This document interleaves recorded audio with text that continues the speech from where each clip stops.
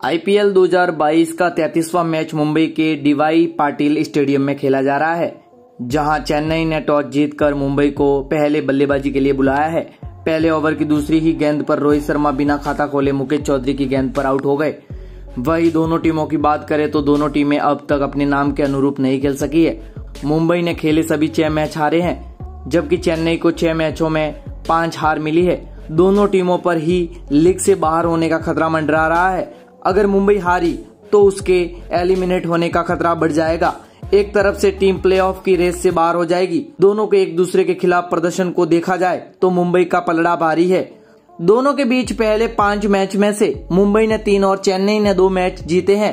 पहले सीज़न में दोनों टीमों ने एक एक मैच जीता था। बाकी आज जो मैच हो रहा है, उसमें क्या चेन्नई जीतेगी या फिर मुंबई? हमें कमेंट्स में ज़रूर बताइएगा। मिलते एक नई अपडेट के साथ। तब तक के लिए टेक केयर, जय हिंद, जय भारत।